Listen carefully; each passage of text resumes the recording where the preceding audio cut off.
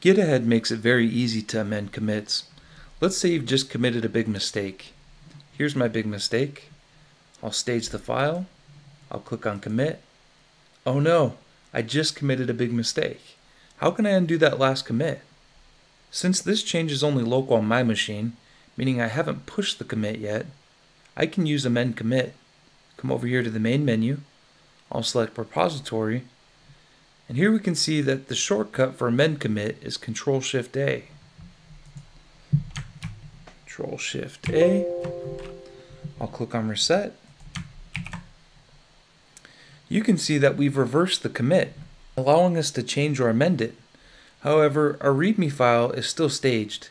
We can unstage it by unchecking this box here, and further we can fix our mistake by clicking on the Edit File button and making a quick change.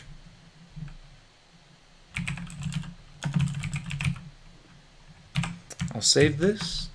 I'll close the editor. I'll stage the file again and I'll click commit. Now we have one commit that's ready to be pushed. If your mistake was caught after you pushed to a remote branch, you're better off moving forward in time. You can quickly correct the mistake by using git revert. Here's a file that I accidentally pushed to Origin Master. Just the text file named tutorial.md. I'll right click the commit and select revert. I can change the commit message and then select revert.